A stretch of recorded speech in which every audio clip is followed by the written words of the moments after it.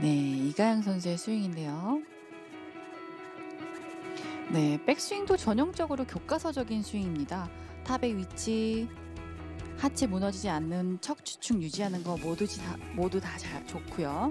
다운스윙 할 때 약간 shallow하게 내려오면서 임팩트 때 힘을 굉장히 잘 전달해주는 스윙인데요.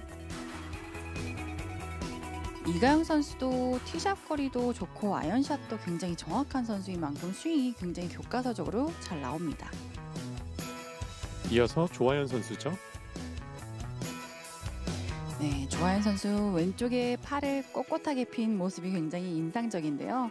굉장히 유연해서 그런지 백스윙 탑에 올라갔을 때 약간의 척추가 조금 휘어지는 모습을 볼 수가 있는데요. 다운스윙 내려오는 과정도 조금은 인사이드로 많이 내려오면서 in-out 궤도를 정확하게 잘 보여주는 궤도입니다.